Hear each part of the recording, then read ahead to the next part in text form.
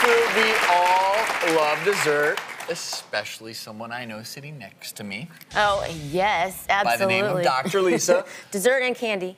but we do know that that these big time sugar cravings they can really derail healthy eating. So it's never a good idea to deprive yourself. So in moderation, you can still have the flavor and satisfaction of a dessert. You just have to pay attention to the calories and fat.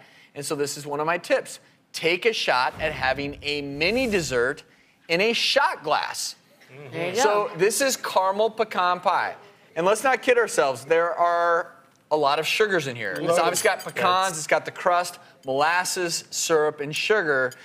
That's why this Dr. Sears is probably not as good of an option as this. Not e- Right. exactly, Travis. That big slice of pecan pie, which that's probably my favorite pie, Mm. over 500 calories, 28 grams of fat. Yet this is the latest trend. A much smaller portion. You're kind of tricking your brain into thinking you've had a whole dessert.